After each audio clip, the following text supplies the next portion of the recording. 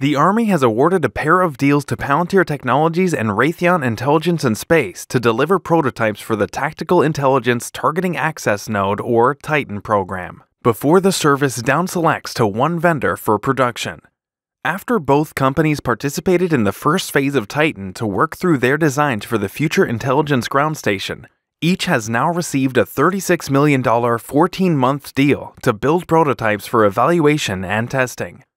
Aki Jain, president of Palantir USG, said in a statement Now more than ever, the nation's warriors and allies are being asked to make more decisions at a faster speed with more available data.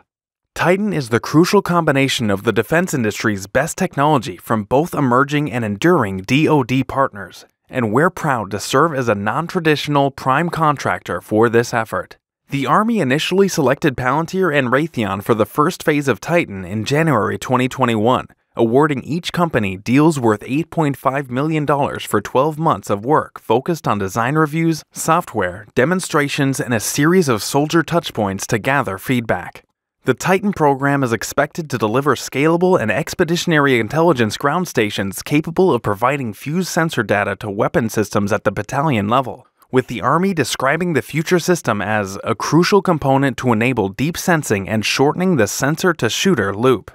Initially, the Army had planned to downselect to one vendor for complete system prototyping after the first phase concluded.